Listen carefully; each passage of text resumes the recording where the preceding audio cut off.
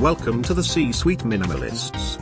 Whether you are a manager or an entrepreneur, it's your place for practical insights on how to do better with less. And now, this is your host, Victoria. Thank you, Darren. Hello, hello, C Suiters. Great to have you here for episode 4 of the C Suite Minimalists podcast. In today's episode, I thought it would be a good idea to go to space. Hold on, Victoria, hold on. What on earth do you mean by that? Am I ready to go to space?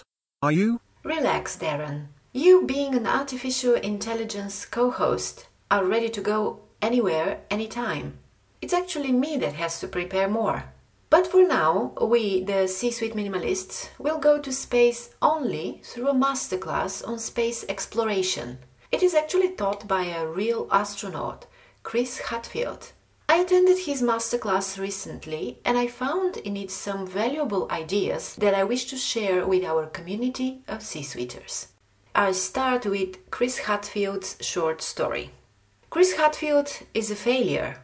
When he was nine, growing up in a farm in Ontario, his life goal became to walk on the moon. The currently 58 year old Hadfield never did. He only became the first Canadian to ever walk in space, an astronaut that has flown on two space missions, the fighter pilot that has served as a commander of the International Space Station, and the receiver of NASA Exceptional Service Medal. Well, we can easily say that most of us will only wish upon a star to fail in such a spectacular way. Hadfield's story is a great way to learn about exploration, and not only space, in my opinion. Darren, would you please help me to share some key life lessons from this masterclass? Sure, Victoria. Lesson 1. Your life is a sum of the little things that you choose to do every day. Here is how an aspiring astronaut thinks. If I'm a person who someday will walk on the moon, what should I do this afternoon? Having decided on an early stage on his dream, Hadfield asked himself continuously what books should he read or what food should he eat. As improbable his dream was when he was nine, it is actually the cumulative collection of all those little things that you have done that define who you are right now. I quote him It's the cumulative collection of all those little things that you have done that define who you are right now. So, taking small but deliberate steps is the key. Lesson 2. Celebrate your personal victories.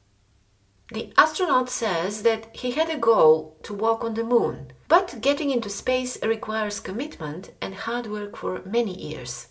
No one would really care about the numerous achievements one has to go through to reach that level, the moon. But actually, each and every person should take time to reflect and celebrate the accomplishments in the meantime. Learning a language, getting a degree while raising kids, reading a book, all of those are stepping stones to the big success. And Hadfield says, don't wait till the end of the journey to enjoy recognition. Recognize yourself in the meantime. Lesson 3. Focus, patience, and persistence. What is your dream job, my fellow listeners? Chris Hadfield waited for a job advertisement that said, Wanted astronauts, since he was nine years old. He says that he regularly checked the papers for it. He asked his friends and family to check for it. And in the meantime, he prepared. And one day, the ad was there. Wanted astronauts. A key lesson here is to really focus your ability in the direction that you want to go and build on it. Only then you're sitting by the phone after years of study and after five months of rigorous interviews and selection committees at NASA. Only then the opportunity phone rings and you hear the final decision. Would you like to be an astronaut?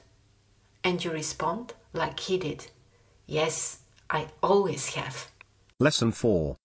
Give yourself permission to imagine what has never been before.